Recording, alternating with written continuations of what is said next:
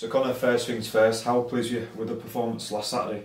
I think it was excellent. It, uh, I think it was important to lay that marker down, especially for the first game in front of our fans. So I think they went away pleased, and obviously we did as well. I think um, it was an excellent performance all around, and to beat a team that are going to be pushing for playoffs in the league above with some excellent players, obviously a good sign of where we're at.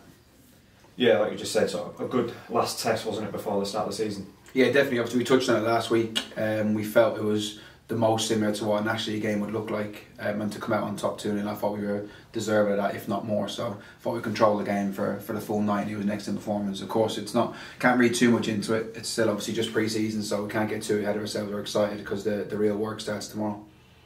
Yeah, looking ahead to tomorrow, Halifax are the opponents. What are you sort of expecting from them? Uh, listen, they don't, they don't they don't change too much. They're obviously they're always up and around. And to be fair, um, Pete done a brilliant job there. Now Chris is doing an excellent job with them. Now he's obviously taking over the reins. So, and obviously in the playoffs last year, excellent side, great defensive record every season, and then they'll continue to try and build on that. They've obviously lost a few good players, but they've recruited well with young players as they always do. I know they're obviously not one of the bigger spenders in the league, but they seem to recruit really, really well with young players around the area. So hats off to them and their recruitment, but we know how tough a set it's going to be. It's always tough to go there and get a result. So we'll go there with our guard up. They'll um, they'll look to frustrate us and obviously catch us in the break, and we'll obviously try and dominate the game and take the game to them. So it'll be an interesting game for the, for all the fans. Yeah, like you just said about their defensive record, they've obviously something that they've prided themselves on the last few years. In a game where you know you've got a good defensive opposition, do you have to be sort of patient in the game? Yeah, of course. Listen, you, you might not score in the first minute, it might be the 90th minute. So we, we know that. We've got our game plan in place. We know what we're going to do to go there and try win a game of football. So, as, as you touched on, they're, they're an excellent defensive unit. They're really, really well organised. They stay compact. Um, they get behind the ball and they make it tough to break down. So it'll be a tough test and we'll have to obviously be on be at our full maximum to go and get three points.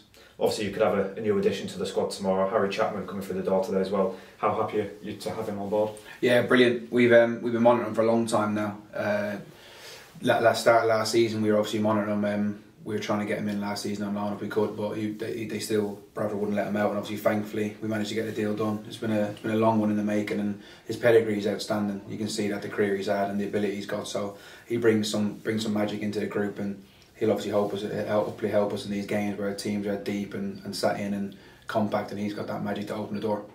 And finally, just how happy are you to be back to league action tomorrow? Ah, it's good. There's a buzz around the place. It's exciting. I think everyone's excited. Obviously, we're travelling up uh, today, so we're getting the best preparation as we can. Obviously, the lads are all excited. You can feel the buzz, and obviously the fans as well. Obviously, please God, we'll see a lot of the fans travel up there and support us in numbers. So we'll look to get we'll look to start the campaign with three points. That's the plan, and we'll go up there excited, and obviously with that as a game plan. Cheers, guys. Cheers, guys.